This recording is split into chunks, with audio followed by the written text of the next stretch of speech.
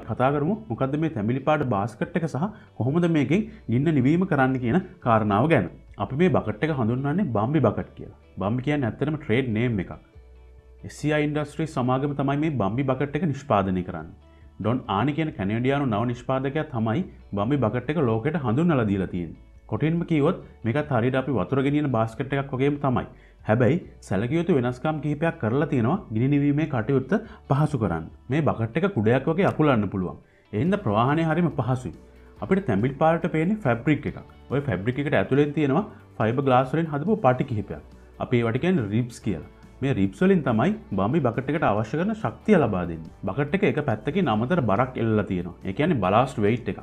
මේ බලාස්ට වෙයිට් එකෙන් වෙන්නේ බකට එක ජල පෘෂ්ටයට පාත් කරට පස්සේ එක එක පැත්තකට ඇල කරවලා ජලය ගිල්වන්න උදව් කරන එක. මේ බම්බි බකට එක හෙලිකොප්ට එකක බඳේ යට කොටසේ තියෙන කොක්කට එල්ල තමයි